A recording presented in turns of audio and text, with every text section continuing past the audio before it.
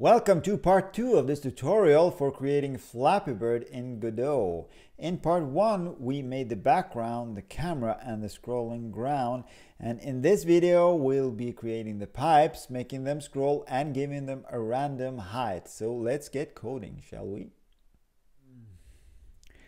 Alrighty, for the pipes we'll be creating one kinematic body 2D with two sprites, the top and the bottom part. So let's just do that. We'll add a child node here to the main and it will be a kinematic body 2d and then just rename this to pipe and we'll add here uh, two sprites. One for the top part and one for the bottom part. Like this. I'll just rename this top and this uh, bottom and then we'll drag the correct texture into both of these. And this is going to be this one here called pipe.png in there and in there. So let's fix a couple of things. First we need to scale it up a little bit. So and then we do here in the uh, kinematic body itself. So I'll just go to the transform here and scale it up by a factor of three to make it consistent with the pixel graphics on the other things that we scaled up like this and then we need to uh, change the position of the top and the bottom part. So let's put the top part up here by maybe oh sorry by minus 50 here in the y direction and the bottom part down by 50 okay let's do more. 100 150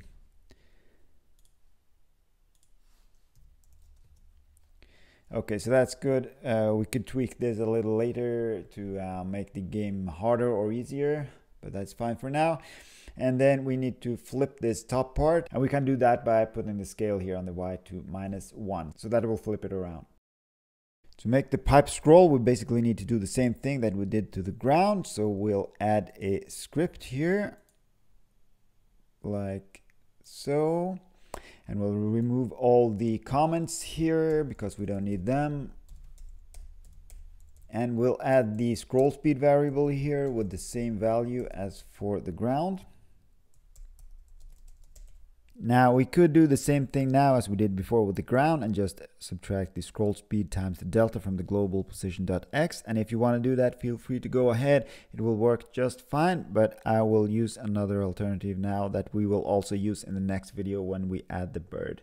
And that is to use a movement vector and a function that is built into the kinematic body 2D node, the move and slide function. So first we need to add a movement vector here and I'll call this move vector and this will be of type vector2 vector2 and this will have two parameters the x velocity and the y velocity and the x velocity will be minus scroll speed and the y velocity will be zero like so. Okay now to make the pipe scroll all we need to do is call move and slide here in the process move and slide with the move vector as a parameter. And when we use this function, we won't need to think about the delta variable because this will do that for us automatically. So let's try to run this now and see what happens. So great, this works as expected.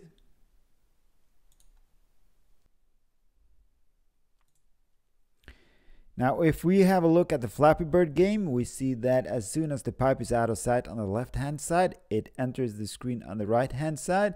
So we want this to happen here as well, just as we did with the floor. Okay, let's have a look at this illustration here. The distance from the middle of the pipe where the x position is 0 to the edge of the screen is half of 450, which is 225.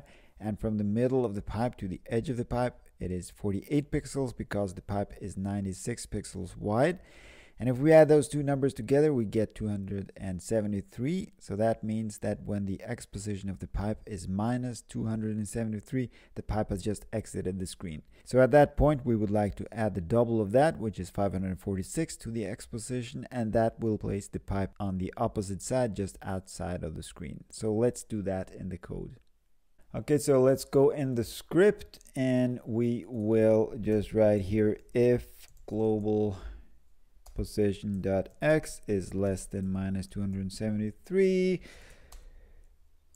we will add 546 to this. And let's run this and see if that works.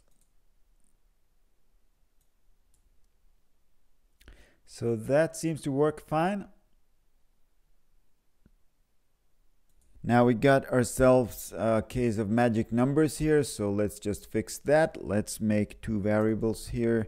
First, the uh, screen width equals 450 and the pipe width uh, which is 96 and let's use that in the code down here so that will be here minus uh, screen sorry screen width plus pipe width divided by 2 and here screen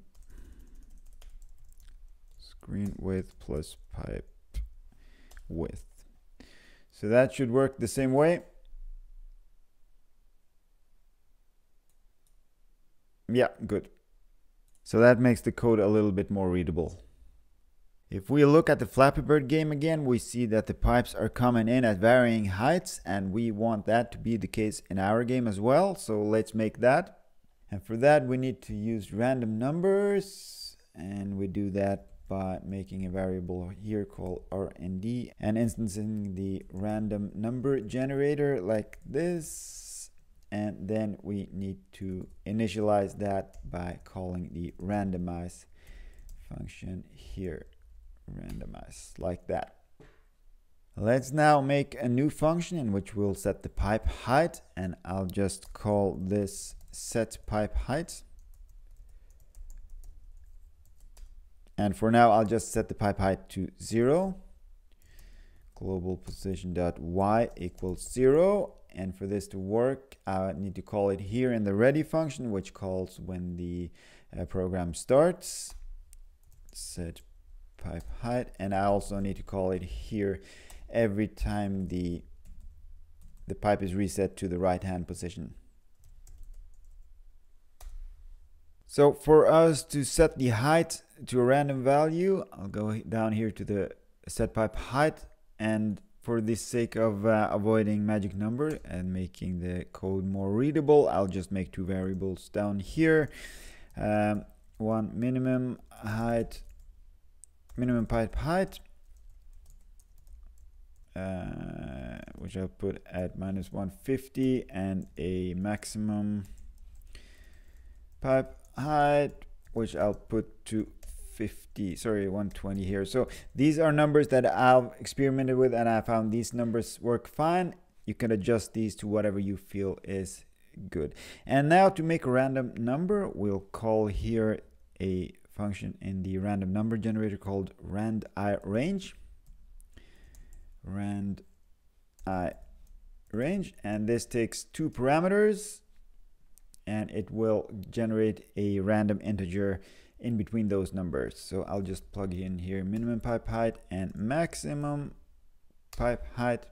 And that should generate a random number between minus 120 and 50 so let's run this and see how that works. Okay, cool. Now the pipes are set at a random height. Alright, as we see now in our game here, there are in fact two sets of pipes on the screen and we want that as well. So let's do the same thing we did with the floor.